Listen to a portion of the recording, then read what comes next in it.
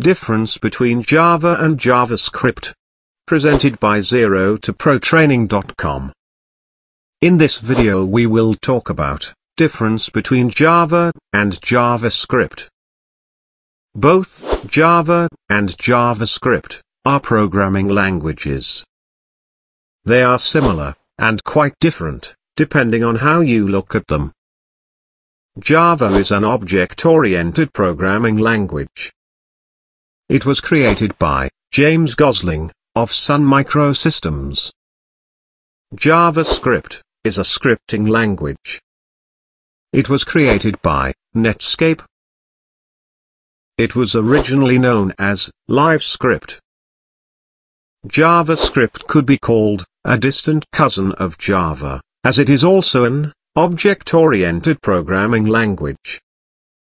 Many of the programming structures, in both languages, are similar. JavaScript, however, contains a smaller and simpler set of commands, as compared to Java. Java can run on its own. It creates standalone applications, or applet. A Java applet is a kind of Java application, that could run, on a browser. Java must be compiled, into what is known as a machine language, before it can be run as applications, or as applets in browsers. Once the Java is compiled, it is set. If the Java code is altered again, recompilation will be required. While JavaScript must be placed inside an HTML code in order to function. The browser interprets the text and executes the commands. The document could be altered and could be rerun. JavaScript is much easier to understand than Java. It is more robust than Java. It allows for fast creation of web page events.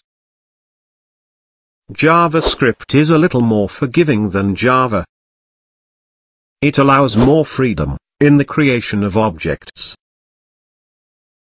Comparatively, Java is a much more complicated language. Java is very rigid. It requires all items to be denoted and spelled out properly. Which language to use where? Use, whichever fits your needs.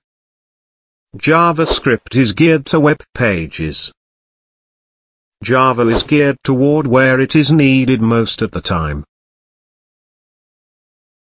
Both will create great web page events.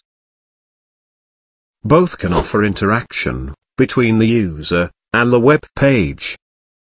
Thank you for watching. For more videos, please visit zerotoprotraining.com.